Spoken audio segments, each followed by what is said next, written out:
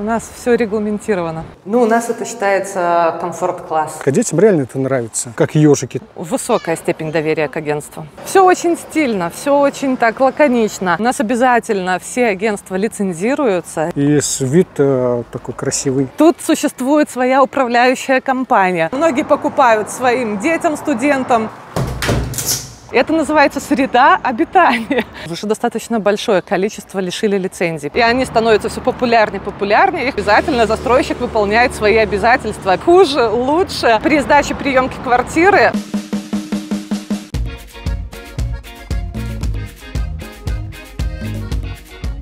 Друзья, добрый день. Я Андрей Артемов. Перед поездкой в Минск я заранее нашел себе гостиницу. Остановился в той гостинице, в которой уже останавливался много лет назад, и она называется Ляменска. Гостиница расположена на МКАДе в центральном районе Минска. У нее удобный заезд и выезд, а до центра Минска на автомобиле 20-25 минут езды. Гостиницу забронировал через сервис «Островок». С бронью было все отлично, а с ценой, к сожалению, нет. На ресурсе «Островок» цена была указана в 15 264 рубля за практически неделю проживания в этой гостинице. А по факту, на момент приезда в Белоруссию стоимость одного белорусского рубля составляла 34 наших – и, соответственно, стоимость гостиницы, проживания в этой гостинице составила чуть более 17 тысяч рублей. Я же, конечно, рассчитывал на другую сумму. Так что будьте внимательны и смотрите, какой курс обмена валют. Также я загуглил информацию про сотовых операторов в Минске. Там всего лишь их три. Почитал отзывы и выбрал себе оператора, называется А1. А тарифный план, который я выбрал, называется Турист 2.0. А в нем безлимитный мобильный интернет и 600 минут звонков на все номера Республики Беларусь. Минут у меня осталось чуть более 500, интернет был классный и с ним было все отлично. Порой работал даже лучше, чем Wi-Fi. Тариф мне обошелся в 20 белорусских рублей, но были траблы с оплатой.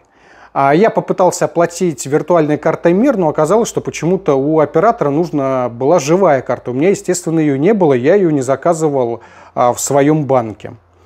Благодарю белоруса, который мне помог с оплатой моего выбранного тарифного плана.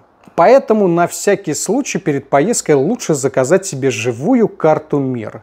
Но, кстати, кроме оператора А1, проблем с оплатой виртуальной картой МИР при помощи телефона у меня нигде не было. Даже в маленькой деревушке, где всего лишь там 3 или 4 было дома, был мал, маленький магазинчик, такой, знаете, в доме, там тоже принимают карты, и с оплатой никаких проблем. Ну и, конечно, раз заговорили про оплату в Беларуси, выгоднее всего, конечно, карта МИР, потому что ее принимают все и везде, и если вы оплачиваете этой картой через э, свой банк, то курс намного выгодней. У меня виртуальная карта от Тинькофф банка, и, соответственно, курс составил 31 рубль 75 копеек вот на момент моего нахождения в Республике Беларусь. Сама дорога от центра Питера до а, гостиницы в Минске у меня заняла порядка 14 часов.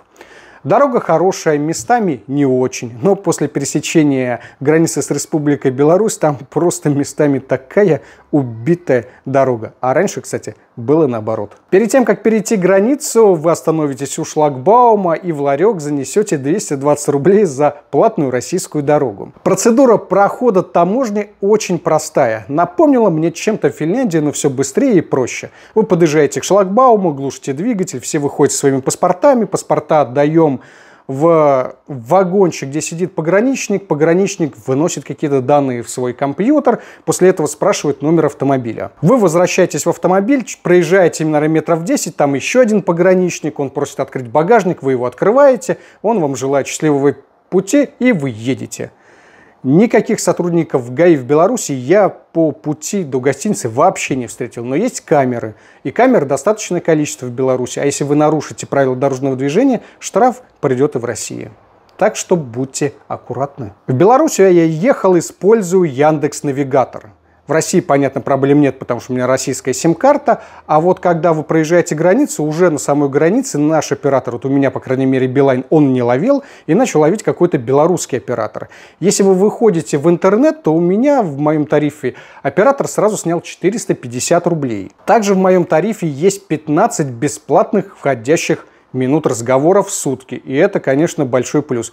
Поэтому рекомендую перед тем, как вы поедете в Республику Беларусь, обязательно ознакомьтесь с роуминговыми тарифами вашего оператора. По МКАДу в Беларуси скорость ограничена от 90 до 120 км в час. Когда едешь 120, знаете, даже нарушать не хочется. Сами дороги – это отдельный разговор – Две полосы в одну сторону, две в другую, посередине разделительная, как у нас, но там растет трава. Никакой грязи и песка. С обочинами аналогично, как только заканчивается асфальт, сразу растет трава. И так, друзья, на всех белорусских дорогах. Я когда ехал, попал в очень сильный дождь, но ехать было мне просто комфортно, потому что колейность практически отсутствует – а на лобовое стекло попадает чистая дождевая вода. Нет тебе песка, грязи и камней. Беларусь достаточно ухоженная, везде подстрижена трава, все ровно, красивые фасады, окрашенные заборы. Минск тоже очень э, ухожен, чувствуется, знаете, такая рука хозяина. Э, у белорусов, кстати, большие штрафы за то, что они не следят за фасадом или не косят траву. К примеру, а мой двоюродный брат не покосил траву, ему выдали предупреждение, и если он ее не скосит, то получит приличный штраф. В Беларуси свои нюансы с недвижимостью. И с этими нюансами мне помогла разобраться Наталья из агентства недвижимости про метры. Наталья, добрый день. Добрый день. Давайте с вами поговорим про новостройки. Очень интересно, потому что Вроде мы соседние государства, но у нас все немножечко разное. Вот, к примеру, я белорус и хочу купить новостройку в каком-нибудь ну, в любом каком-нибудь доме, что мне для этого нужно, какие есть программы там, за кредитование, э, приобретения, рассрочки. Да, на самом деле у застройщиков несколько инструментов. Все чаще используются рассрочки и есть программы кредитования. Есть специальные программы кредитования, но это не у всех застройщиков, где первый год, по-моему, там 4,54 процентная ставка такая составляет. Ну, а остальные 20 лет уже полноценная ставка рефинансирования, плюс, как правило, 3 либо 4 процентных пункта. На сегодняшний день это 14,45. Э, это самый маленький процент по кредитованию недвижимости, но еще полгода назад этот процент составлял 22%. Поэтому мы движемся пока в положительную динамику. И, ну, то есть все больше и больше возможностей купить новостройку в Минске. А как я могу понять, что вот я приобрел новостройку, что не прогорю, что вот ее достроят? Есть какие-то рычаги государственные на застройщиков, чтобы я не был там обманутым дольщиком? Да, конечно. На самом деле э, мы с вами находимся возле одного из таких домов даже. Я вам могу вот его показать. Угу. Грушевский посад называется. Э, строил его один застройщик, но обанкротился. Э, государство забирает такие объекты под себя, скажем так, и передает государственным застройщикам. Достраивает этот э, жилой комплекс УКС «Запад». Это государственное предприятие.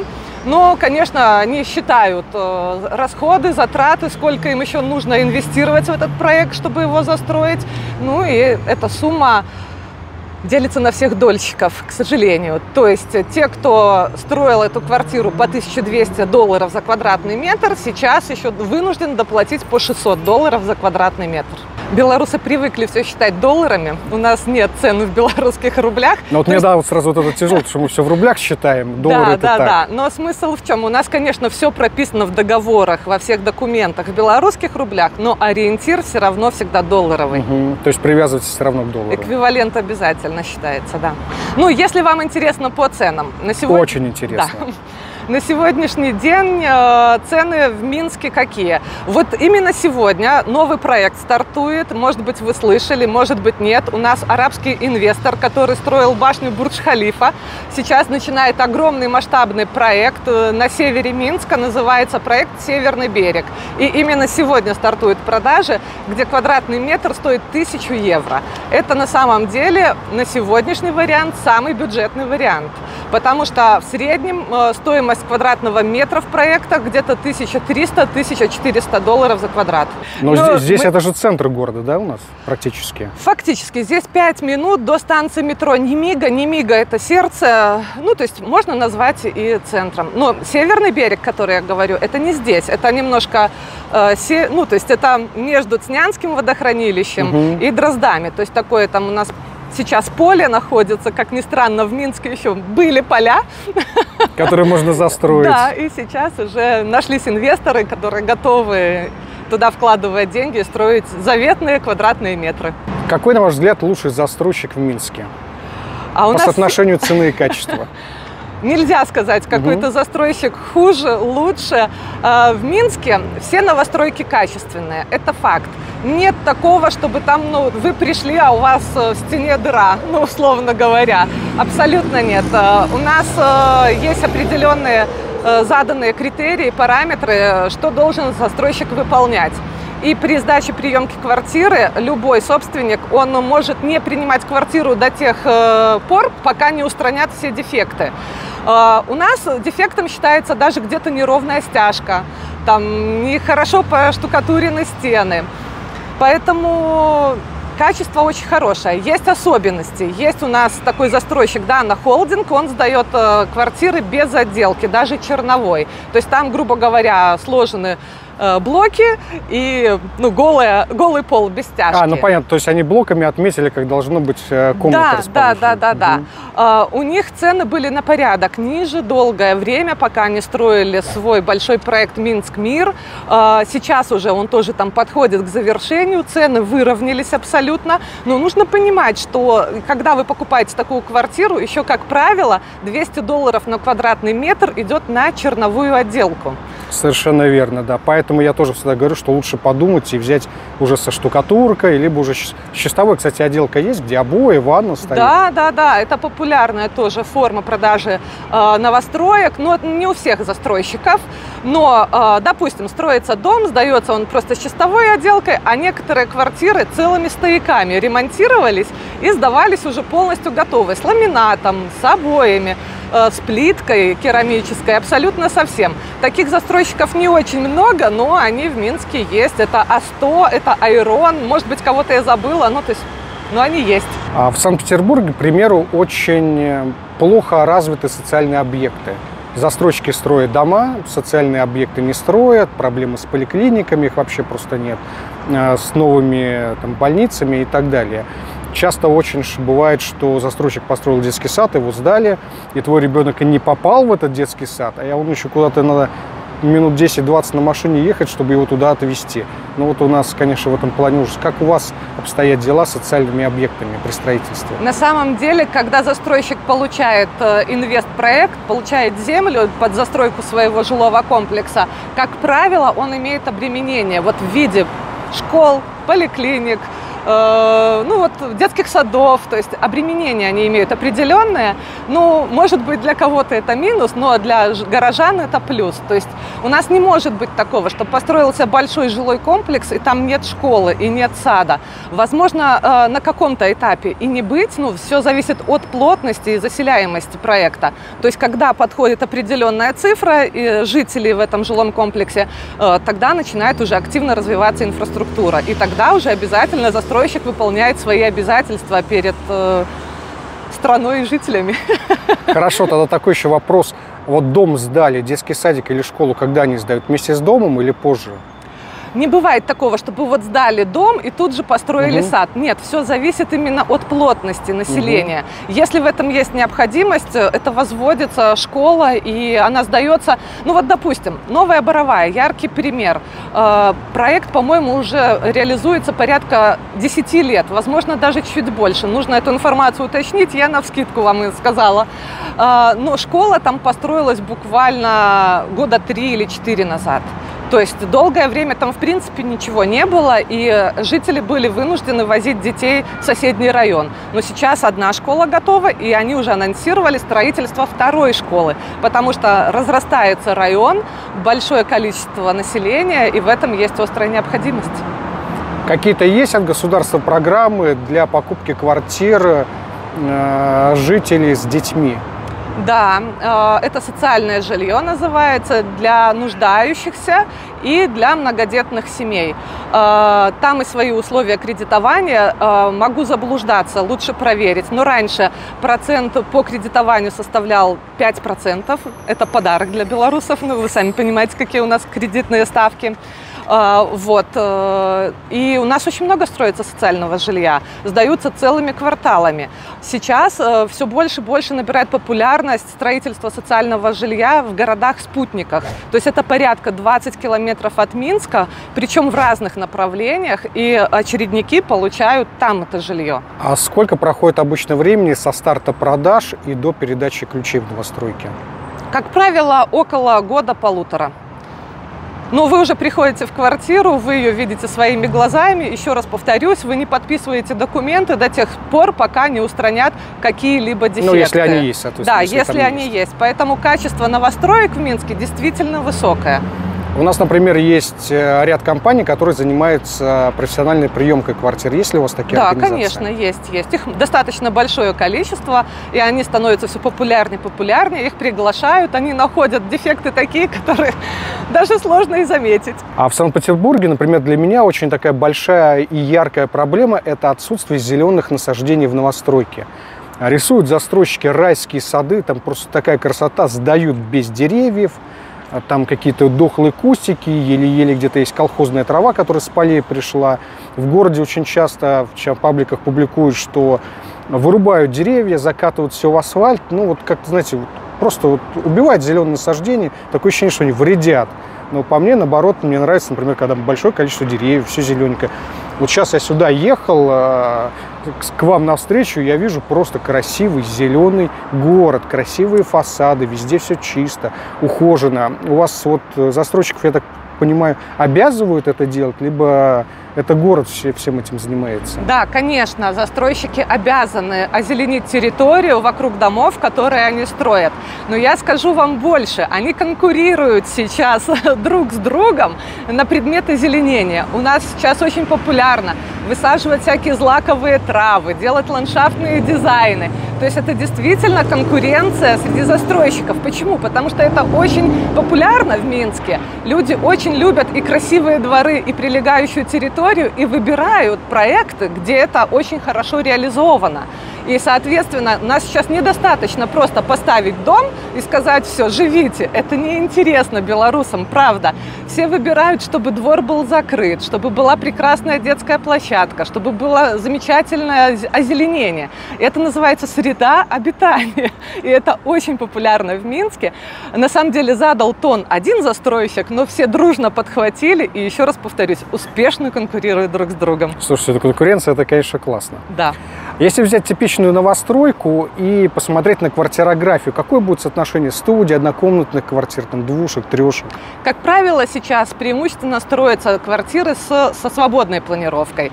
Да, конечно, санузлы обозначены, какие-то несущие э, стены тоже, но, как правило, это всегда студия и какое-то там еще количество комнат. Самые популярные квартиры, наверное, как и везде, одна- и двухкомнатные. Большие квартиры, они нужны преимущественно семьям. Ну, наверное, все как и везде, как в любом мире. Но, повторюсь, преимущественно квартиры со свободной планировкой. Стандартная высота потолка какая в новостройках? А, раньше это было 2,5 метра. Сейчас такие квартиры уже не совсем ликвидны, скажем прямо. Они есть, они строятся по-прежнему, но застройщики ниже 2,8 потолок уже не строят. 2,8? Да. Блин, у нас в Питере 2,7, ну, типа, нормально. 2,8 это уже бизнес-класс. Ну, как правило, сейчас у нас уже набирают такие проекты популярность, э, где двойное освещение, где потолки 3 и выше. Ну, то есть каждый берет клиента своими особенностями, своими плюшками. И высота потолков в том числе на это влияет. Как сейчас с продажами квартир в новостройках? Вы знаете, если взять любой проект, абсолютно любой, э, если нет старта, то не такое большое будет количество квартир для выбора. Квартиры продаются достаточно То есть нет успешно. такого, как у нас, что рынок резко рухнул? Вы знаете, он у нас не рухнул. В связи с последними событиями, которые происходят в мире, было некое затишье, но все равно продажи шли. Может быть, не так активно они шли. А, конечно, многие выбрали вторичный рынок, потому что, ну, ты уже понимаешь, э, вот перед тобой квартира и куда ты вкладываешь деньги. А в связи с нестабильной ситуацией немножко было волнение. Если я буду э, свои деньги вкладывать в новостройку, ну, а что будет завтра? А, ну, то есть вообще, ну, никто не знал. Поэтому был был такой тонкий момент, но он не критичный. Продажи все равно шли. Если я, например, захожу на объект как инвестор, на старте продаж приобретаю квартиру и после сдачи продаю, какой у меня профит будет? Ну, я вам скажу, наверное, для россиян это небольшая сумма. Мы возьмем за основу однокомнатную квартиру. Например, можно было в той же Дании холдинг Минск Мире купить однокомнатную квартиру около 38 тысяч на старте. То есть, когда еще даже не вырод котлован. Грубо говоря, стройка огорожена забором. А продать ее уже сейчас можно за 45-47. Э, Сможем посмотреть какую-нибудь новостройку, пройти квартиру, посмотреть дворы? Да, конечно. Я думаю, что мы сейчас попробуем все это организовать. Погнали.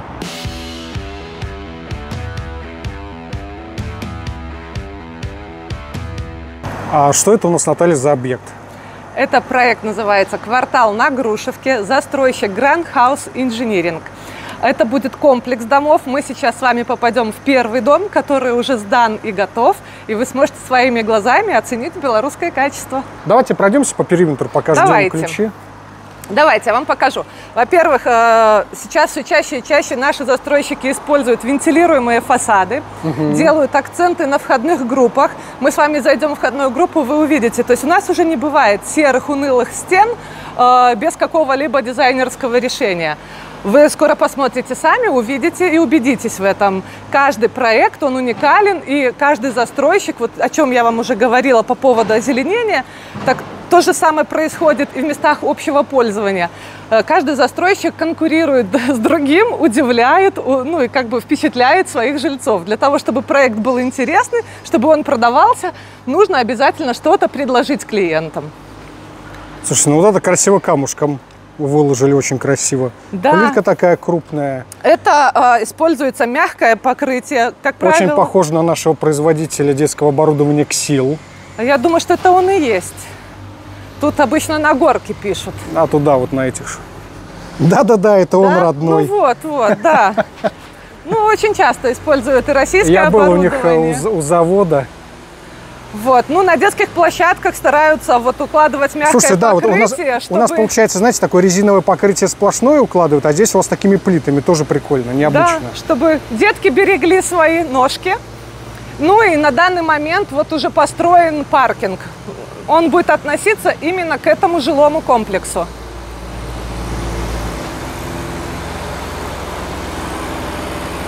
Ну, симпатичный паркинг. Ну, вот там... это все будет демонтировать, Вот да? уже началось ага, демонтаж. Да, да, да, да, вижу. Начинается. Здесь тоже будет застраиваться площадка. Там будет строить государственный застройщик для нуждающихся. Вот воркаут-площадка. О, прикольненько. На входных группах мне только, знаете, чего не хватает? Больших букв, нумерации какой-то подъезд и какие квартиры. Чтобы а я вот, думаю, что это еще будет. А, а, да, потом, потом, чтобы оно в едином стиле везде угу. было. Получается, у всех одной группы есть скамейка, где посидеть, отдохнуть, урна. Да, да, да. Входные группы стеклянные, алюминиевый, похоже, профиль. Вентфасад у нас с кляймерами, вот они, в цвет плитки сделаны. Пойдемте. Ох ты, какая большая входная группа. И? М-м, вот, запах краски свежие. Нового дома, да. Слушайте, почтовые ящики с перфорацией. Очень красиво смотрится. Такая красочка такая полуматовая, да. Сразу под спам, как у нас, потому что, я так понимаю, Проходите. господи. Это квартира? Нет, это подъезд. Это застройщик вот так сдал? Конечно. Вот, то, о чем я вам и говорю, что наши застройщики стараются уделять э, ну, внимание местам общего пользования и придомовой территории. Вот посмотрите, стабилизированный мох, вот такое сделано. Слушайте, ну вот здесь единственное, знаете, к чему может докопаться? Ну вот, вот к этому что где-то вот неравномерный прокрас. Все остальное, даже вот эти окна, это дорогущие окна, не дешевые. И отлично работает фурнитура. Причем фурнитура не базовая. Подоконник под дерево. Ну вот у нас, я такого...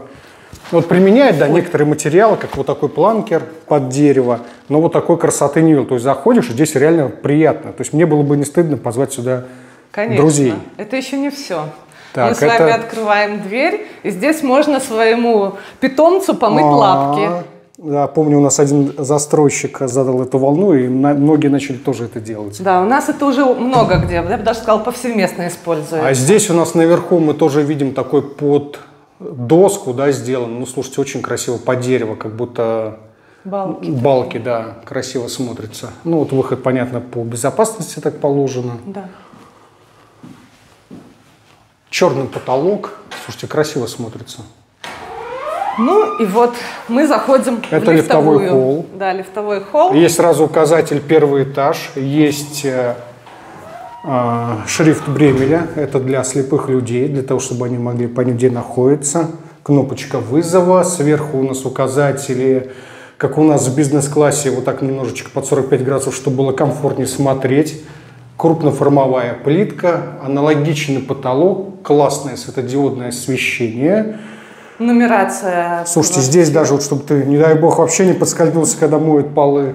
Вау, вау. Нумерация есть. Очень удобно. Заходишь в лифт, тебе сказали 220 квартира, посмотрел 11 этаж.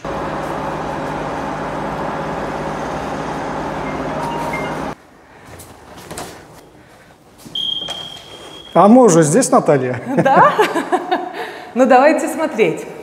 То, о чем вот я вам и говорила, что квартиры у нас даются преимущественно свободной планировки. Но здесь вот такая важная особенность и красота. Панорамное остекление, слушайте, Панорамное круто. остекление. Окна Рехау, двухкамерный стеклопакет. Посмотрите, как красиво за окном. Слушайте, вид вообще шикарный, да. И окна, кстати, очень хорошо открываются. Старый фонд. Да, вот школа, кстати, из окна видно. Вот. А, вот это школа. Да. Ага. А вот детский сад. Вот Детский садик, школа, в шаговой доступности. Да, да, да, да, да. Беговая дорожка, все в деревьях. Обратите внимание, друзья, какой зеленый город, сколько много деревьев. То есть в Беларуси любят деревья, в Питере не очень.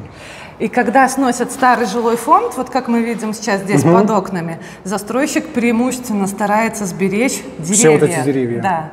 То есть, ну, насколько это возможно, конечно, но очень берегут растительность у нас. Молодцы. У нас рубят под корень. Слушайте, можно потом прийти, вон там яблочки растут бесхозные. Можно же сорвать? Конечно. Почему нет?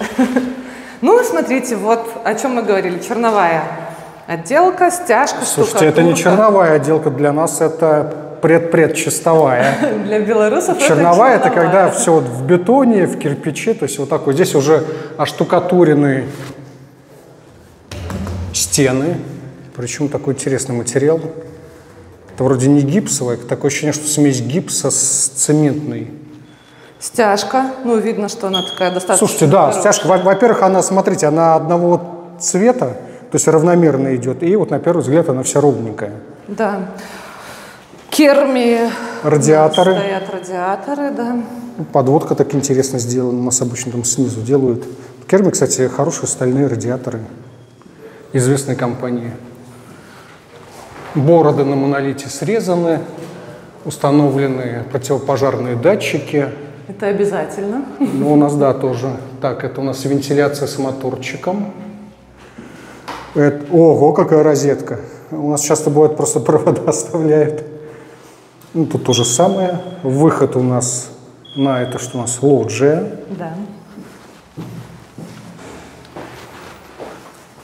Слушайте, а здесь делать даже ничего не нужно. На пол напольное покрытие и все.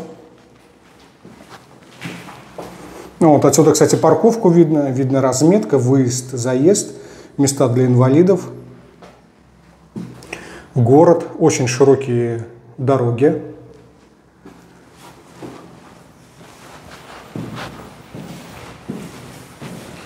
Слушайте, большая квартира. Сколько такая квартира стоит?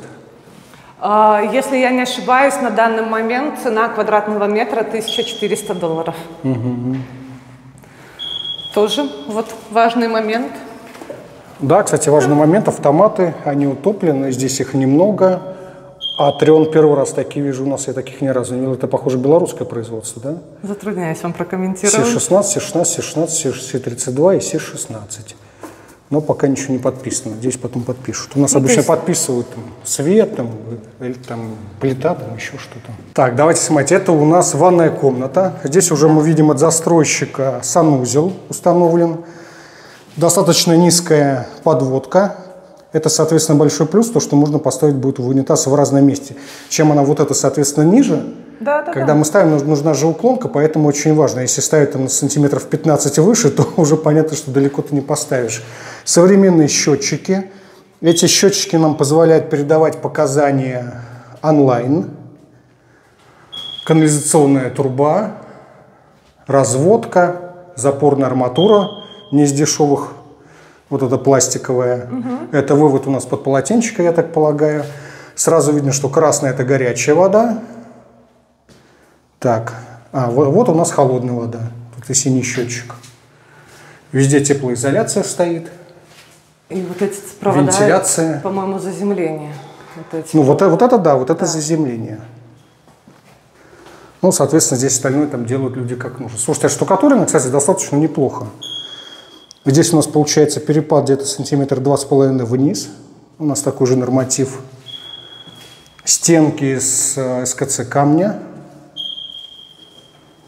Штукатурки, кстати, друзья, обращу внимание, тут просто минимальный слой. Тут, похоже, тут до сантиметра. Измерим при помощи электронной рулетки высоту потолка. Наталья говорит 2,7, я говорю 2,75. Барабанная дробь. Делаем ставки. 2,93. Вот так. Вот так. Вот так. Никто из нас не угадал. Ну, просто пока все еще серенькое, воспринимается совершенно иначе. Ну, получается, да, вот у нас входная группа, здесь санузел, здесь еще один гостевой санузел. Да. Давайте посмотрим, что... А, ну здесь у нас все то же самое. Вентиляция обычная, я понимаю, приточная. Кухонная зона. А, кух- кухня вот здесь. Да. То есть она такая немножечко получается отдельная, а здесь получается такая большая гостиная. Раз окно небольшое, два, три. Здесь оно еще панорамное. Ну, Здесь даже вот сейчас без отделки большое количество света, а если еще поклеить э, светлые обои либо окрасить стены, здесь будет достаточное количество света. И мне нравится, что здесь э, в этой именно планировке э, вид и на одну сторону, получается так у нас, грубо говоря, север-юг, и запад и восток можно все практически посмотреть. Еще одна комната, большая комната, большой... Слушайте, здесь просто она такая видовая, вообще круто. Еще одна лоджия. Да.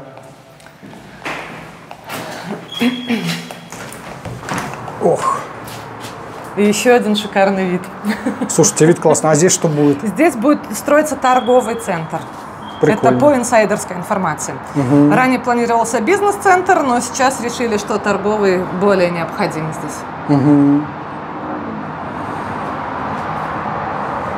Деревья красивые очень. Не знаю, что это за деревья. Ну, такой маленький парк остался. Ну да, слушайте, очень классно. Как раз Его вот обязательно школа. сберегут. Его, он останется однозначно в этом виде.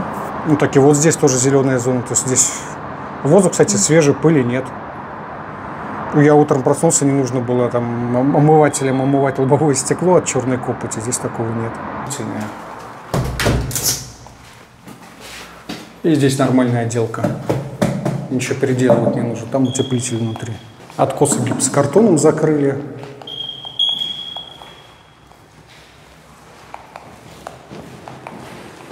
Слушайте, хорошая квартира. А вот здесь, кстати, тоже очень важный момент, вот этот. У нас очень часто вставляют вот здесь ровную стенку, вот без вот этого кусочка. Вы когда монтируете дверь, вам приходят мастера, они ставят коробку, чтобы наличник поставить, то вот здесь есть место, причем достаточное место. И здесь есть место. А у нас зачастую вот этого кусочка нет, и, соответственно, наличник приходится подрезать, и это смотрится ну, уже не очень Да, красиво. да, а да, здесь конечно. нормально смотрится. И даже если ты поклеишь обои, потом подклеить можно будет нормально, то здесь такое приличное они расстояние взяли. Молодцы. Ну, вот, собственно, такие квартиры. Пойдемте тогда посмотрим дворовую территорию, обойдем Да, вокруг. конечно, конечно, пойдемте. А здесь, друзья, получается на верхних этажах всего лишь три квартиры, чуть ниже пять квартир на площадке. Для Питера это бизнес-класс. Датчики, а везде а, защитные крышки сняты, в отличие от нас. Отделка, слушайте, ну что-то такое сделали, интересный цвет, нормальный. Двери деревянные, я так понимаю, то, что все меняют двери. Конечно, Это, это, наверное, конечно, такой меняют. менталитет. Но некоторые застройщики сдают э, сразу с металлическими дверями. Ну, то есть это все Не, у нас, у нас, например, проекта. стараются застройщики ставить хорошие металлические двери, чтобы когда ты заходишь, все было В едином виде, стиле. да, в едином стиле. Ну, вот это тоже сейчас становится у нас популярно, но еще пока есть разные варианты. Ну, это одно это вот что вы говорили, как раз студия, тире там Евро-2, как у нас это называется, Да, там да, типа да. однушка. То здесь, получается, можно сделать перегородку, отдельно сделать себе кухню, отдельно комнату. А, По, у застройщиков по документам как вот это покупаешь? Как а, Однокомнатная однокомнатная квартира. квартира. Ну, здесь метров 50, мне кажется. Да. Достаточно большая квартира. О, надо батареечку заменить, а то потом орать будет. Радиаторы достаточно высоко от пола стоят. Подводка вот здесь прямо в стене, удобно, не видно этих труб. Подоконники, откосы из ГКЛ, окна Рехау. Вид такой же шикарный на мост, на дорогу. Да, вот здесь видовые характеристики. А из-за вида цена дороже или нет? Что-что? Если видовая квартира, вот как здесь, цена дороже или нет? Или все одинаково? Ну, по Здесь, наверное, все квартиры видовые. На самом деле, в этом проекте, насколько мне известно, э, цена не зависит от вида и от этажности. Но есть в Минске проекты, чем выше квартира, тем цена дороже. И э, да, если есть особенности какие-то именно видовые, там, не знаю, вид на реку, то дороже стоит квартира. Этим пользуются уже застройщики. А вот так, друзья, выглядит обычный лестничный марш в этом жилом комплексе. Обратите внимание на ступени. Целиковая большая плитка, смотрится реально очень круто. И здесь плитка. И это идет с верхнего до первого этажа. Все везде одинаково. Крепко держится ограждающая конструкция, она из металла, здесь нет никакого вот этого дурацкого линолеума.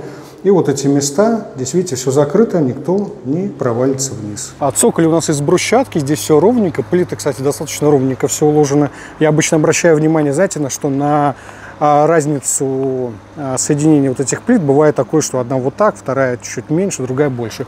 Тут все ровненько, на уголках у нас вот такой, как его назвать, наверное, нащельник есть, чтобы все красивенько было. Потому что не все могут ровно подпилить. Ну, это мы выходим на стилобат. Здесь коммерческие помещения предполагаются, причем здесь два этажа этих помещений. Это первый этаж, и на уровень ниже еще один Второй. этаж, да, второй. Но место здесь хорошее для жизни, я так понимаю. Конечно, Потому это что станция метро сколько тут идти? Минуты три, наверное, пешочком? Да, тут э, 50 шагов, Ну ну, да. буквально. Место хорошее. Это один из центральных э, проспектов Минска, проспект Дзержинского. Э, это выезд напрямую на Брестскую трассу. Здесь э, достаточно большое количество станций метро. До центральной станции метро Немига здесь буквально 5 минут, и вы в самом-самом сердце Минска находитесь. Район прекрасный. Ну, конечно, так как тут проспект Дзержинского, есть свои нюансы, есть немного шум, но когда вы находитесь в квартире, вы его не слышите, окна закрываются. Да-да-да, там всё двухкамерное стеклопакетом ничего не слышно. Да, Для да, меня, да. например, мне нравится, когда вот я открываю окно специально, чтобы был шум, я лучше засыпаю. Когда тишина как-то напрягает. Человек ко всему привыкает, и кому Это что да. нравится в этой жизни. Очень много здесь строится сейчас проектов непосредственно в этом месте. Потому что, ну вот как вы видели, много еще старого жилого фонда было, частные дома. э, им уже много лет не, не разрешали их реконструировать, перестраивать и так далее, потому что уже был план развития этого района. Ну вот инвесторы нашлись, и все это строится. Э, очень пользуется популярностью у минчан и белорусов в целом это место. Э, Многие покупают своим детям, студентам. Э, Кто-то, в принципе, привык к этому району, кто-то выбирает этот район, ну, потому что очень удобная инфраструктура. И на проспекте Дзержинского есть абсолютно все, начиная от садов, школ, поликлиник, разных фитнес-центров, спа-салонов и так далее. Мы с вами, Наталья, в самом центре Минска.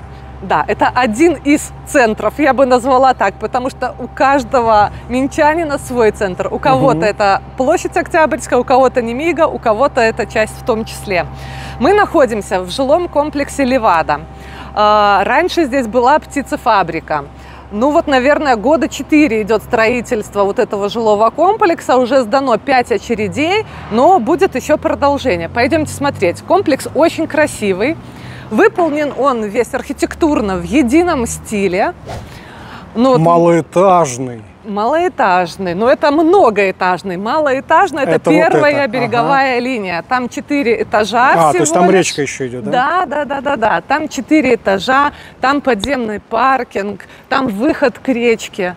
Ну вот посмотрите, то, о чем я говорила, насколько наши застройщики Красиво. стараются. Красиво. Мне нравится, что большие здоровенные буквы, сразу понимаешь, где какой корпус да. тебе нужен. И... Закрытая парковка, деревья. Закрытая парковка, закрытая территория без машин. Мы сейчас находимся, вот именно это называется внешняя сторона дома. Угу. Пойдемте, вот покажу вам это внешняя сторона двора, а вот внутренняя, она вся огорожена. То есть э, сквозные подъезды позволяют ребенку свободно выйти на внутреннюю сторону двора. Вот мы сейчас подойдем угу. к вам, вернее, с вами, к детской площадке. Она полностью закрыта, полностью огорожена. Детки спокойно себе играют, и там нет никаких машин. То есть проездов там не предусмотрено. Ну да, и плюс еще есть ограждение. Давайте перейдем да, машине не давайте. Мешать. И, соответственно, понимаешь, если отпустил ребенка, он не выбежит на проезжую часть. Да, да, да. Где парковка. Слушайте, даже здесь вот отсыпка вот этого белого камня, э, рулонный газон, разделитель газонный, плитка. Смотрится классно, у каждого смотрю номер есть, это платная парковка. Ну, тут люди покупали парковочные да, да. места. Ну, издалека фасад очень красиво смотрится. Очень красиво, все в таких Хоть это ивент-фасад, но здесь э, крупная плитка, и она смотрится по мне более так э, красиво, эстетично, да. нежели чем когда вот у нас про мелку применяют. Экономят, наверное. Ну, Слушайте, вот ну площадка то, классная. о чем мы говорили, обязательно мягкое покрытие, угу. современное оборудование, вот такие стильные беседки. Там еще есть внутренняя сторона двора. А, зимой устанавливают там елки, то есть для того, чтобы было весело и нарядно, в том числе в жилом комплексе. Тут существует своя управляющая компания. Это От тоже, застройщика? Да, да. Это тоже становится все популярнее у нас. А, как-то тогда более, что ли, следят за дворами. Вот угу ухаживают. Ну, не знаю. Вот То сейчас... есть, если управляющая компания от застройщика, то более ухожены, ухожены дворы и дома? Ну, в принципе, да. Существует товарищество об, э, этих обществ, два товарищества общества? как оно называется, а собственников, собственников, да, товарищество собственников. Тоже все зависит от руководителя, как в любом деле. Но э, вот эти управляющие компании, они показали свою эффективность. Первое это А100 использовали, сейчас используют это Айрон. Обращаю ваше внимание, вот какие у нас там надписи, таблички, все-все должно быть в едином стиле. Нет такого, что э, на фасад повесят яркую там какую-то сумасшедшую табличку, угу. э, например, ну не знаю, то есть все очень выдержано. Да, для того, чтобы не испортить внешний вид фасадов, внешний вид домов, вот эту вот всю стилизацию. Ну, сейчас мы дойдем до красивых насаждений, то, о чем я обещала ну, рассказать. Валсбери, Сазон. Да, да, да. Ну вот видите, они нашли маленький выход, все равно свой сиреневый значок и голубенький вынесли вот так. Но основные вывески все равно в стиле э, жилого комплекса. Угу, угу.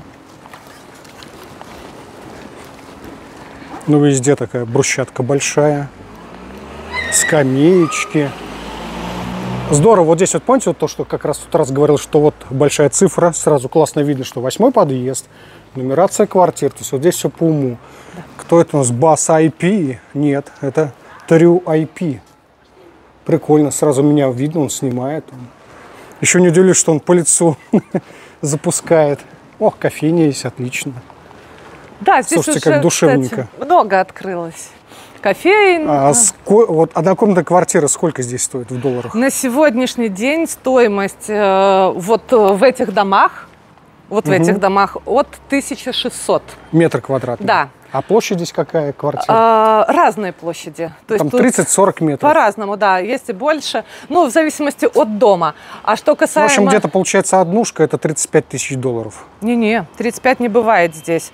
А, если умножить а, подожди, на 1600. 1600 дороже. Да, да, Около да. там получается От 45. 45. Даже, ну, то есть порядка тут от 50 тысяч. Надо так ориентироваться. Угу. Вот. Э, что Квартиры передают застройщик в какой отделке здесь? Вот приблизительно, как мы с вами видели. А, вот так. Да. Угу. Но здесь были квартиры с ремонтом, а вот в этих домах э, были квартиры с дизайнерским угу. ремонтом. Э, не знаю, видели, не видели вы на нашем канале? Там у меня есть именно обзор такой квартиры. Ну, я посмотрю обязательно. Посмотрите, есть. Вот, это первое. Именно в этом комплексе? Именно, да. Первая береговая линия, вот э, то, о чем я говорила, что популярность у нас набирают вот, вот такие вот, насаждения. Вот у меня тоже в комплексе вот такая травка растет, вот, красиво вот очень. эти злаковые, вот эти белые камушки. Ну, то есть вот... Слушайте, двор очень классный, очень красиво смотрится. Да. Пойдемте сюда, пройдем с вами. Я был бы горд, э, когда ко мне пришли бы друзья и посмотрели, сказали, нифига себе. Слушайте, вот это тоже интересно сделали. Да, да, да. Ну, то есть все с душой, такой, с рукой хозяина это сделано. Такой, Всякие да, такие посидеть. маленькие элементы. Вот такие вот тут. Вот это, кстати, на Браухаус похоже. Сейчас очень модно стало такого плана дома строить. Вот такие вот а, скамейки, которые крутятся, да, слушайте, вот да, прикольно. Штуки. К сожалению, мы, наверное, не сможем с вами попасть э, на выход туда к воде, а, но вот только если уже, мы да. обойдем весь жилой комплекс. Потому что тут с ключей у них открываются калитки, угу. но сам факт, что вот вода, ну, в общем, все удобно. Вот подземный паркинг выезжает. Слушайте, кстати, люди. паркинг достаточно круто сделано. Шикарный отшлифованный бетон. Здесь у нас бру... О, брусчатка, разделитель, э, люки для отвода воды, поручни. Слушайте, очень красиво даже это смотрится. Везде большими буквами адрес написан. Сразу в глаза бросается. Плюс я смотрю, есть места под установку кондиционеров. Да, Панорамного стекления много. Предусмотрено. Вот здесь я смотрю, под кондиционер вообще все закрыто. То есть достаточно тоже так интересное решение. Но я вот понимаю, что его по доске, что это уже не первый год этому дому. Да, да, да. То есть я говорю, вот этому жилому комплексу, по-моему, он лет пять уже строится. Угу. Это была первая очередь, вот эти дома. Дома очень... Кстати, тоже здорово. Вот вместо классные. кустов, как у нас часто кустарник сажают однотипный, здесь такая трава, чем-то на соку похожа. Да, да. И вид э, такой красивый. Дубовая кора, ой, это еловая кора. Кора, да. Входные группы классные. Все очень стильно, все очень так лаконично. А, застройщик заранее вот подумал о том, чтобы не торчали кондиционеры, у каждого свой да, ящик да. предусмотрен. Ну, тут все. Если бы мы, у нас была возможность попасть в входную группу показать, но, а может быть, нам выходить, повезет. да, зайдем. Может быть, нам повезет. Ну, так, прогуляемся, покажем. Вот, вот я смотрю, второй этаж, получается, здесь у людей такой балкончик достаточно большой, остекление, все в стекле. То есть такая, получается, прозрачность пространства. Да. Плитка вот. очень красивая, вот это самое, не из дешевых. Красиво все уложено и ровненько. Любят у нас, видите, вот камни, вот именно вот эти вот природные ландшафты, угу. вот, вот все это использовать. Люди вот. уже цветочков насажали на своих террасках. Это даже не балкон, терраска. Да, со стороны воды там еще больше такая терраса. Там прям терраса-терраса. Тут для велосипедов. Очень разные э, детские площадки. Угу, Мы да, с вами да, вот я уже вижу, видели, да. да, тут другая. Ну, то есть такое все очень продумано до мелочей. И жителям этого комплекса, ну, здорово. Просто ты пошел, погулял в одно одном ну, на одной площадке, ну, на одной, на другой, Да, потому что да. когда дети есть, дети, детям надоедает гулять на одной площадке, им всегда хочется разнообразия, везде побегать, попрыгать. Да. Я тут смотрю, разделение там для малышей, для детей чуть постарше сделано. Вот там тоже домик, как мы проходили. Можно, что там у нас, а, в шахматы поиграть. Да, да. Вот террасы людей с первой береговой линии газончик, все ровно.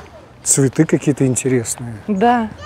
И здесь заборчик такой тоже, но из-за того, что сетка, такого нет того, что ты за глухой стеной сидишь. Это точно. И здесь тень большая от деревьев. Слушайте, классно. Да.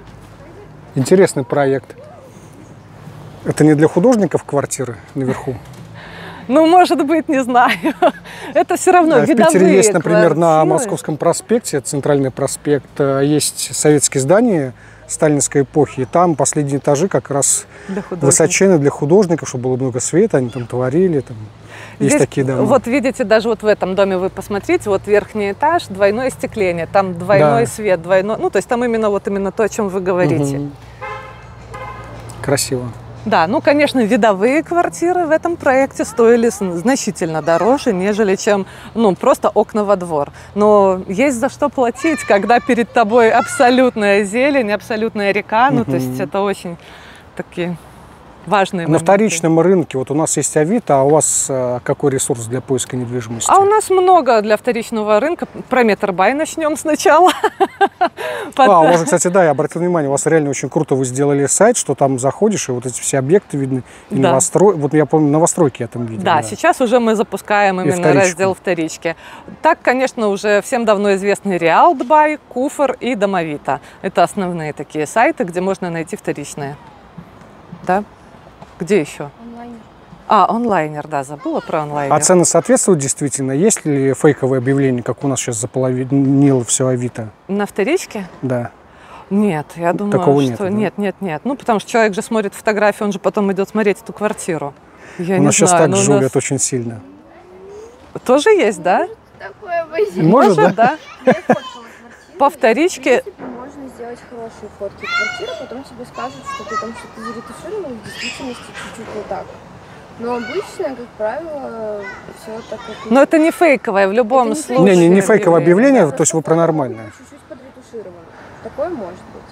Ну, чуть-чуть. Ну или когда сделали ремонт, сфотографировали, а потом через 10 лет Ну, продают. Такого нет. Такого нет, да? Такого нет, у нас реальные объекты. Такое, что, не знаю, какая-нибудь на столе, ты ее измажешь. Да, ну это ерунда. очень. Ну, то есть у нас нет вариантов. У нас, когда собственник размещает объявление, он должен подтвердить э, причастность к этой квартире. И, как правило, вводится ID квартиры. Мгм. Ну, то есть вариантов нет. А агент может ее продавать? Если он обратился в агентство, да, Да, агентство выставляет, тогда ведет рекламу, то есть и Мгм. официально написан номер лицензии, УНП Мгм. агентства, то есть, ну, как А, бы, у вас агентства выдают лицензии. Конечно. То есть это лицензированные действия? У нас еще Конечно. такого нет. У У нас может любой взять, э, быть агентом, у нас не нужно никакое специализированное образование, его вообще не существует. То есть любой человек, ты сегодня работаешь на заводе, не знаю, токарем, а завтра ты супер продавец недвижимости. Нет, у нас такого не существует. М, у так нас Вот это интересно, расскажите. У нас обязательно все агентства лицензируются, риэлторская деятельность, она обязательно лицензируется, и она очень э, контролируется соответствующими органами. А, бывают моменты такие, что и забирают, лишают лицензии в зависимости от э, каких-то там моментов и нюансов. Например, э, аренда, самый простой э, сегмент. Есть агентства, которые работают по факту заселения, то есть вы с агентом за ручку ходите, Мгм. смотрите варианты, выбираете что-то, после этого вы оплачиваете Мгм. услугу. А есть агентства, которые продают информационную услугу. То есть они дают список, и ты пошел с этим списком. Так вот таких агентств ну, уже достаточно большое количество лишили лицензий, потому что Молодцы несоответствие. какие, да. У нас на самом деле э, степень доверия к агентствам очень высока у белорусов. Конечно, когда лицензии всех их лишают, Конечно, естественно. да, да, да. И э, не у каждого застройщика есть свой отдел продаж. Иногда застройщик обращается в агентство, Мгм. и агентство становится уполномоченным риэлтором, который реализовывает квартиры в проекте застройщика. То есть и такое может быть. Ну, застройщик он строит, ну, не хочет он создавать свой Мгм. отдел продаж. Но, как правило, сейчас уже все больше и больше они создают, конечно, свои отделы продаж. Это экономически, наверное, им целесообразней. Вот. Но высокая степень доверия к агентству. У нас вторичный рынок э, могут реализовывать э, только лишь лицензированные агентства недвижимости. Ну и собственники, Мгм. конечно. Ну То да. есть сам застройщик, не имея на это лицензии, он не сможет продавать. А Тяжело лицензию получить? Честно, не знаю. Она платная или бесплатная?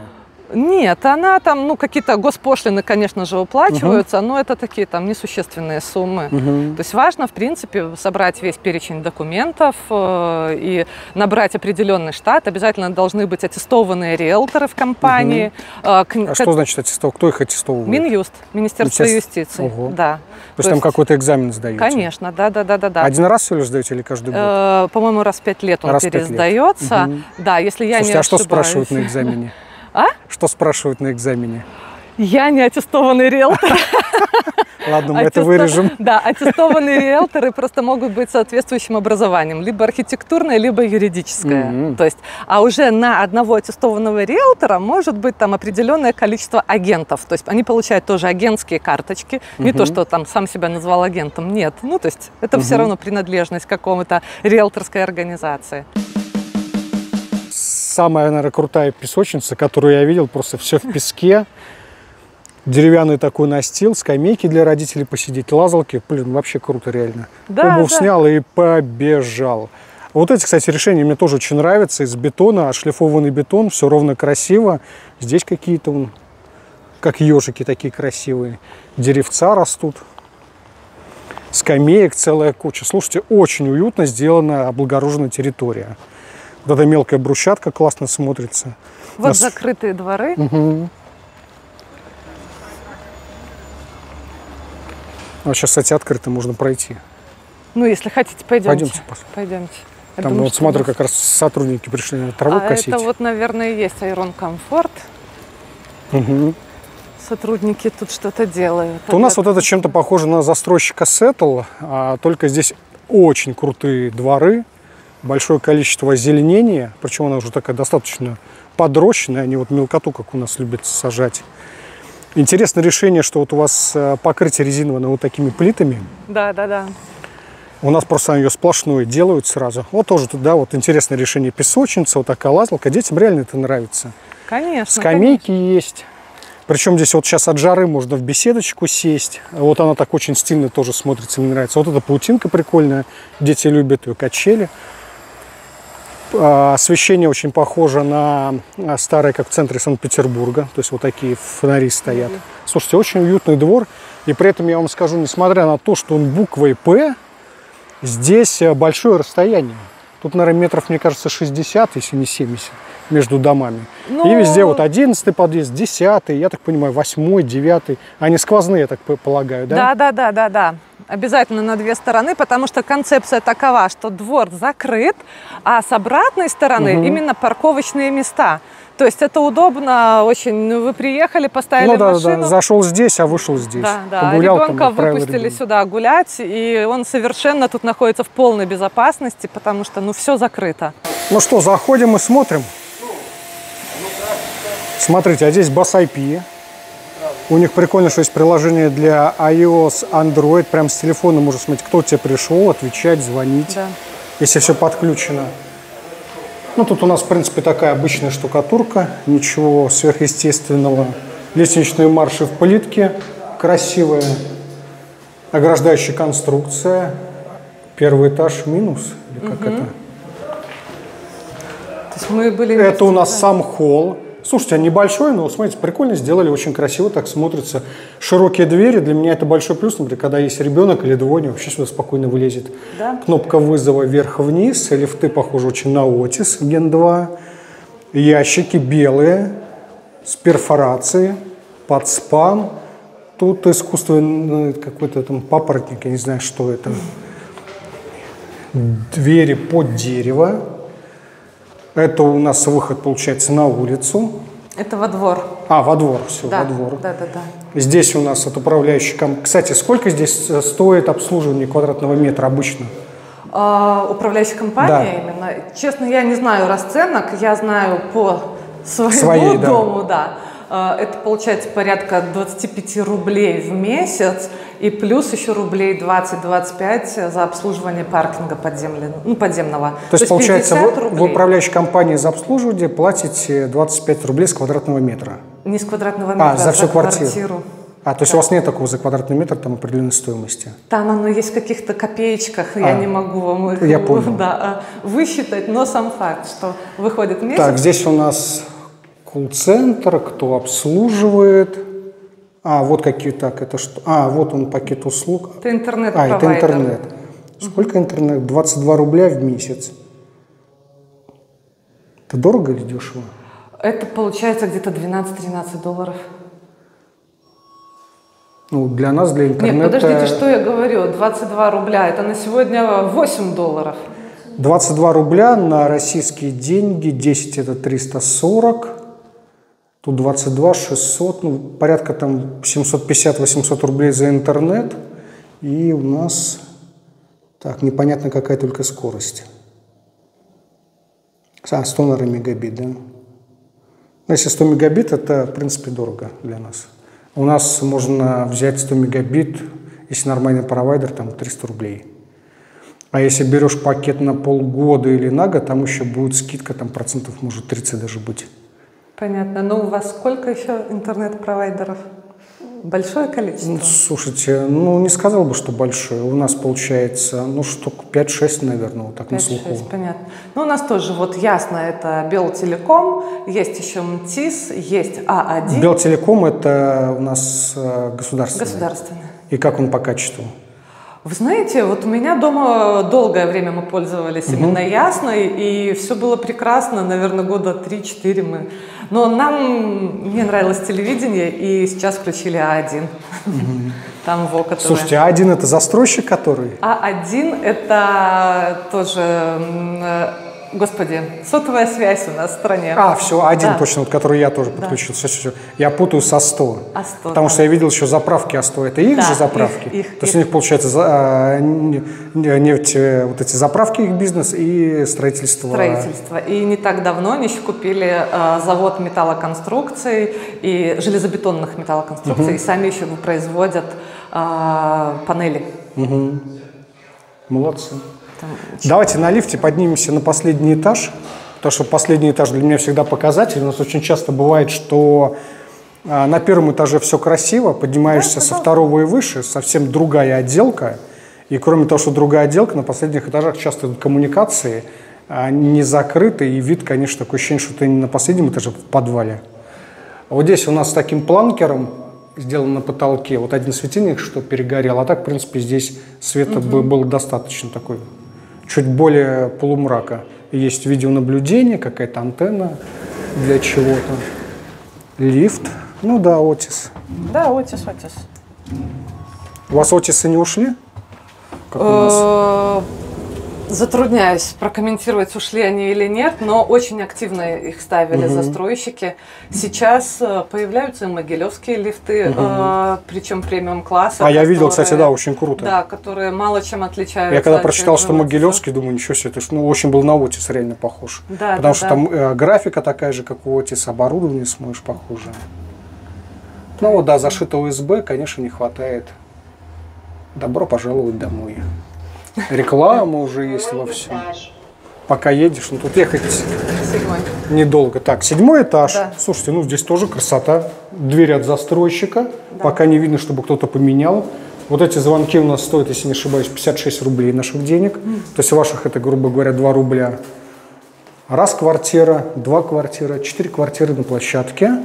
Так, здесь... А, это у нас лестничный марш наверх. Открывается окно, и здесь, соответственно, можно а, тут закрыто сейчас, цель безопасности. Посмотреть на дом. Слушайте, очень интересно сделан проект, очень интересно сделан сам конструктив дома, то есть получается он неровный, такой по а, скосу идут с каждой стороны, смотрится ну, так достойно. У нас бы это назывался ну, минимум бизнес, да. если бы не элитное жилье. На крыше мы видим дефлекторы. Они работают за счет воздуха, и у них специально такой наклон, они закручивают, создают избыточное давление и вытягивают лучше воздух, соответственно, из квартиры. Обычно у нас это кухня и, соответственно, ванна. Территория отсюда просто сверху очень круто все сделано, классное зеленение, ну, такой, знаете, немножко видна вода. Такое ощущение, что ты вот реально куда-то на райское побережье приехал, очень напоминает проект. Вот здесь тоже зона прикольная сделана для, ну, сам, сама дворовая площадка. А электроподстанция тоже сделана в таком стиле Браухаус. Много. У нас э, все популярнее и популярнее становятся электроавтомобили, и об этом тоже стали думать все застройщики. То есть кто-то в подземных паркингах выводит угу. розетки, кто-то на наземных паркингах устанавливает. У нас по закону положено минимум две зарядные станции в проекте, минимум. Вот я по поводу Но норм не вам не скажу, не знаю, не знаю, честно. Э, Еще особенность этого проекта, что здесь э, некоторые кровли, они эксплуатируемые. Вот нам mm-hmm. пока тут не попались они, к сожалению, так бы показали. Но проект очень масштабный. Вот если посмотреть, вдоль леса идет такой серый заборчик, mm-hmm. это вот масштабы, докуда будет доходить. Mm-hmm. Ну, у нас это считается комфорт-класс. Комфорт-класс. Да. Да, комфорт. Круто. Это комфорт-класс Беларуси. Да. А вот и лестничный марш на последнем этаже. Все в плитке, красота, белые стенки и красивая ограждающая да? конструкция. А спускаемся в подвал, и знаете, обычно в наших новостройках, когда ты спускаешься на минус первый этаж, там в паркинг или еще что-то, такое ощущение, что попал в заброшку какую-то. Посмотрим, как сделано здесь. Ох, ты здесь сразу прохладней, прохладней. Да. Все в плитке, да. Но пока ничего ужасного нет. Все достаточно неплохо. Тоже везде Слушайте, стоят колясочная, двери. колясочная, здесь кладовки. Вот велопарковка, вот даже значок, что здесь угу. можно это все оставлять, колясочки и так далее. Вот не понимаю, это помыли, что влага стала? А, похоже, помыло, да, вот следы вот от, от этих штуки, которые ездят. Или это затопило? Затрудняюсь прокомментировать, ну так очевидных течей не видно. Да, не-не, здесь не видно, да, что, скорее всего, это мыли так активно, похоже. Ну, в общем, здесь достаточно неплохо. Мне нравится, что здесь прохладно на улице сегодня. Очень жарко. Электрощитовая, подписано. Ну, да. Все обычный такой комфортный, комфортное помещение для хранения. Кстати, обратите внимание, широченные двери. То есть сюда даже, как я говорю, рояль зайдет. Наверху есть э, перфорация для вентиляции, инженерное оборудование – все так четенько. Противопожарные датчики, вот так интересно закрыл застройщик для того, чтобы видно, так как здесь, наверное, метра два, чтобы, не дай бог, ничем не долбанули, вот такой сеткой противовандальной. Молодцы. Вот, кстати, такой сделали маленький амфитеатр, э, амфитеатр, и это, соответственно, уже для подростков зону. То есть вот здесь молодец застройщик подумал не только о маленьких детях и взрослых. Можно посидеть, отдохнуть, там, позаниматься своими делами. Слушайте, прикольно, идешь так в дорожку, а там водопадик. Водопадика нет, по-моему, только камушки остались. Как просто камушки, да. да. Ну вот тоже еще одна площадка, а там уже идет стройка, угу. ну, следующие очереди. А тут уже люди живут, делают ремонты. Слушайте, да, расстояние такое приличное, что получается стройка не мешает. Ос... Не мешает, да. да. Ну и скажем прямо, у нас никто не ведет стройку в ночное время. А, то вот так, да? Да, да. А выходные? Выходные тоже они не, не работают. строят. То есть суббота, воскресенье отдыхают все. Да, да, да, да, да. Не, у нас строят постоянно, могут и круглосуточно строить, и всем все равно, и пыль летит людям в окна, и жалуются, и ничего не... Нет, нет, у нас все регламентировано. Да, вот здесь, кстати, видны шезлонги, то есть для любителей позагорать угу. там тоже есть а, такая да, да, возможность, вот вижу. да. И они туда ближе к воде тоже вынесены. Ну да, как раз он, получается, лежишь, туда смотришь на деревья, на воду, на перспективу такую прикольную.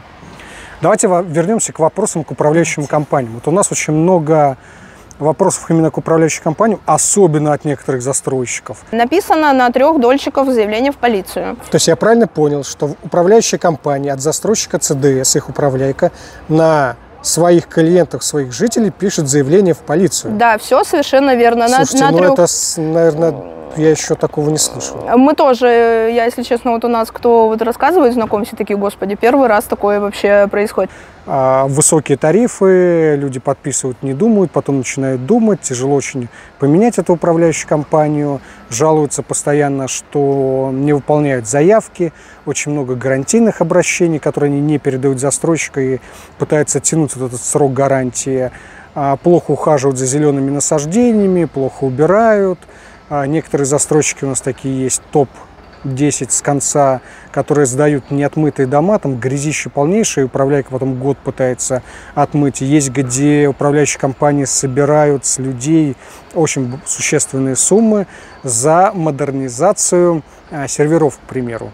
То есть застройщик сдал видеонаблюдение, а сервер типа должны люди купить. Ну, по мне Да. это вообще какой-то из ряда вон. Как вот у вас здесь дела с управляющими компаниями? Ну, у нас на самом деле только положительный опыт с управляющими компаниями. Как правило, да, все они перешли от застройщика в самостоятельную единицу, но они работают даже с теми же названиями жилых комплексов, либо же э, с именем застройщика, от которого они, скажем так, отпочковались. А, Тарифы плюс-минус такие же, как и в городе, э, в ЖЭСе, скажем так. У нас же есть такая форма еще государственная, где Мгм. дома относятся к ЖЭСу, и там э, свои дворники. Так, ЖЭС это жилищная эксплуатируемая Служба. служба. Ага. Да, да, да.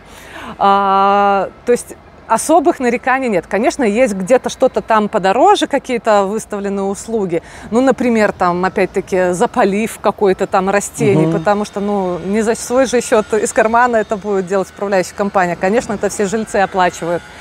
Но как таковых нареканий нет. А если бы они и были, в любом случае можно коллективно обратиться в государственную службу эксплуатации, которая вас примет под свое крыло.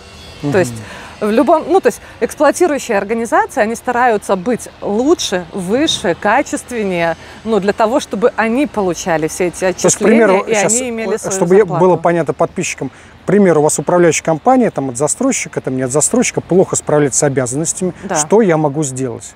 Вы, если вам вас все не устраивает Да. и ваших соседей тоже, Да. вы можете коллективно обратиться в исполком, ну в какие-то наши регулирующие органы. Могу заблуждаться конкретно. Есть ЖРЭО, просто такие организации. Я не знаю точно куда, но с легкостью можно отказаться от услуг управляющей компании и перейти в ведомство города, в жилищную, экспло- э, жилищную Ну, вот этот джесс, который да, вы сказали. да, да, да. То есть, соответственно, там даже голосовать не нужно там за новую управляющую компанию, просто эти пришли, проверили, поняли, что все плохо, сказали, ребята, до свидания, теперь мы управляем и все. Ну, по сути, да. Слушайте, круто. А у нас голосование, это может голосование, потом выбирать другую управляющую компанию, та подает в суд, и это может там годами идти в арбитраже, все эти выяснения отношений старой, новой управляющей компании, двойные квитанции, в общем, такое.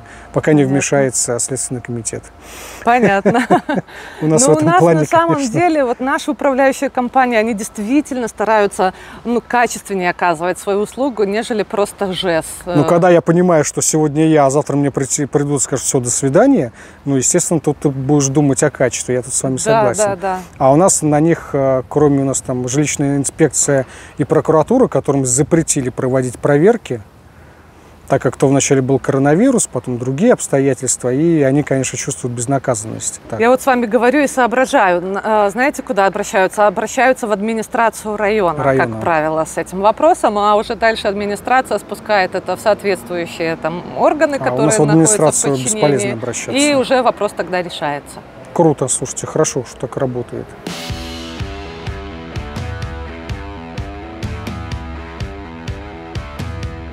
Друзья, давайте вместе со мной поблагодарим Наталью и нашего второго оператора, которая помогала в съемках этого прекрасного видео, за обзорную экскурсию, за рассказ про новостройки, про управляющие компании и многое-многое другое. Наталья, огромное спасибо о развитии вашей компании, о развитии вашего YouTube-канала и, конечно же, большое количество клиентов. Спасибо Благодарю. большое. Приезжайте к нам в гости. Друзья, рад был вас всех видеть. Обязательно поставьте лайк, не ставьте дизлайк, подпишитесь на канал и поделитесь ссылкой на это видео. А я с вами, как обычно, не прощаюсь, а говорю до скорой встречи.